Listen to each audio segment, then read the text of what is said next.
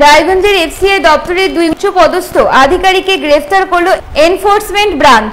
অভিযুক্তদের নাম সঞ্জিত সরকার, বাড়ি উত্তর চব্বিশ পরগনা জেলার খড়গা থানা সাতপুরে। অপরজনের নাম গোপাল চন্দ্র মুর্মু। বাড়ি হুগলি জেলার সিঙ্গুর থানা এলাকায়। অভিযুক্তদের বিরুদ্ধে ভারতীয় দণ্ডবিধির চারশো ছয়, চারশো নয় চৌত্রিশ আইপিসি ধারায় মামলা রুজু হয়েছে। গতকাল অভিযুক্তদের রায়গঞ্জ জেলা আদালতে তোলা হলে বিচারক চোদ্দ দিনের এনফোর্সমেন্ট ব্রাঞ্চ হেফাজতে নেওয়ার নির্দেশ দিয়েছে। গতকাল রাতে অভিযুক্তদের কলকাতার উদ্দেশ্যে নিয়ে যাওয়া হয়। দুর্নীতি দমন শাখার সূত্রে জানা গিয়েছে দু হাজার কুড়ি সালে লকডাউনের সময় লক্ষ লক্ষ টাকার চাল ও গম পাচার করার অভিযোগ রয়েছে তাদের বিরুদ্ধে।